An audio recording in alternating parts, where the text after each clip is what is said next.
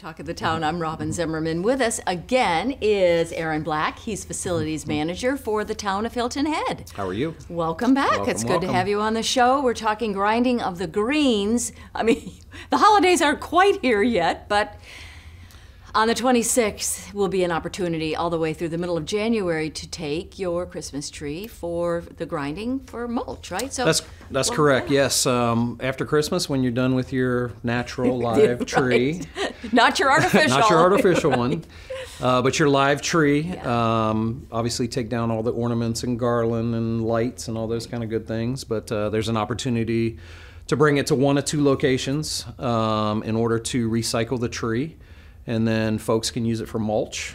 Um, in their plant beds or in their yards afterwards. So, what are those two locations, Aaron? Two locations. We have uh, an area sectioned off at Coligny Beach Park, Right. or the parking area right next to Lowcountry Celebration, Okay. the big lot. Okay, right, good. And then we have another location up on the north end there at 278 and Chamberlain Drive, out there in the open field area, okay. where folks can drop off their trees. And actually, this year we have an opportunity they can recycle their Christmas lights. So, wh- whose idea was that, and why do you think that's important? Actually, uh, we're partnering with Outside Foundation. They've been a great partner with us, and uh, I2 Recycling. And uh, again, just a, a way to better the environment. Right. Um, instead of throwing those Right. broken lights into the trash, there's an opportunity that we can recycle them.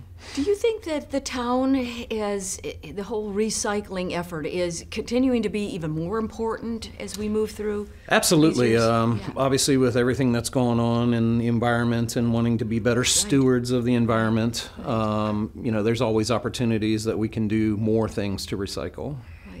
Now, back to the trees and the mulch. So, if you want, let's say you don't have a tree, but you need mulch, could you just go and get Sure. mulch? Yeah, How absolutely. Do you do, absolutely. How do you do that? Tree drop off is from the 26th of December Okay. to the 15th of January.